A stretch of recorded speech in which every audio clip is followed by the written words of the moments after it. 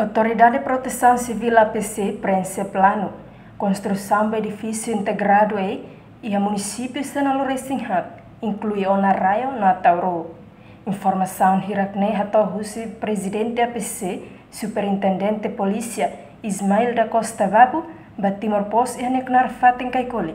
Sexta-feira, Lorontolo, Fulang Março, Tinan Rihun Roa Tolo. Ismail Babu Dehan e a plano estratégia.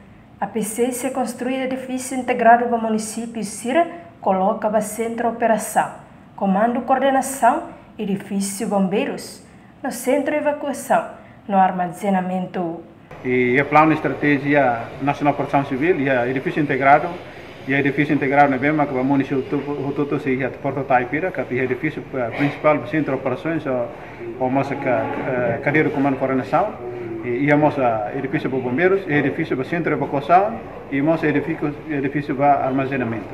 O lema que edifício integrado não está alinhado no plano plano de estratégia, espero que tenha mais construção lá no Tuir Ismail Babu, nehanessa investimento, no oitavo governo tal, a a autoridade de proteção civil, lihusi fundo infraestrutura para edifício nacional, aloca orçamento milhão lima dólar americano no cada município e milhão tolo dólar americano.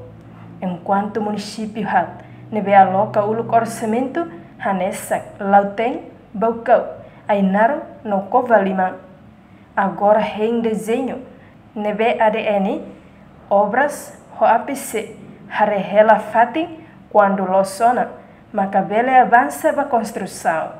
Já tu hatorit katakan e governo estava governo está um investimento forte para né e a edifício e a fundos de infraestrutura.